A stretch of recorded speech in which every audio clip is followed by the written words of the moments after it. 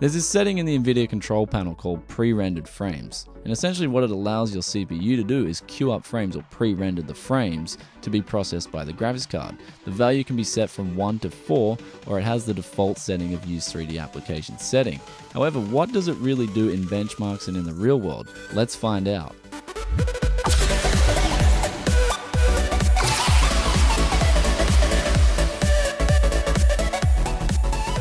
So before I installed my 5820K, I was playing around with my 4670K rig and I installed Windows 8 and I started up Crysis 3 and I noticed the input lag. It was actually really bad.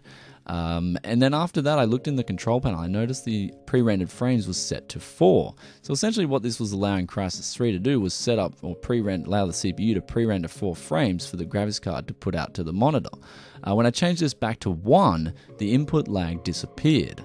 So this is an interesting setting, and when I obviously uh, when I tested it in benchmarks, it made a difference in some games. Not all games, because not all games will allow the NVIDIA control panel to change the particular setting for that game. However, in Battlefield 4, it did make a difference. I'll show you guys the benchmark here. The pre-rendered frames on 4 on my 4670K gave frame rates of 185.44. This is at 1080p on the test range. Uh, with pre-rendered frames set to 1, I immediately noticed a frame drop to 168.08. Now I usually have this setting on 1 as I just hate input lag.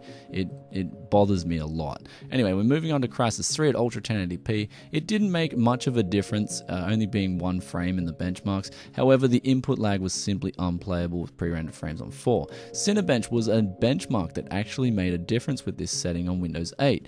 Uh, this was 152.31 with the setting set to 4, and pre-rendered frames set to 1, it was 147.43 on the OpenGL test. Uh, Skyrim and Firestrike they, and Armor 3, they did not make a difference at all, so this is an interesting setting to play with, and uh, ultimately your mileage may vary. Now, on some games, it may uh, introduce uh, glitches or artifacts, so that's up to you guys to decide.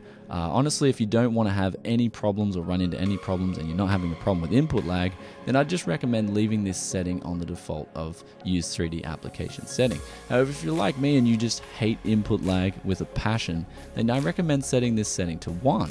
Also, if you're a pro benchmarker, you may wish to set this setting to 4 though again, your mileage may vary. However, it's an interesting setting, and I'd like to discuss it more with you guys in the comments. So if you like this video as well, please give it a thumbs up, and I'll catch you guys with another tech video very soon. Peace out for now. Bye.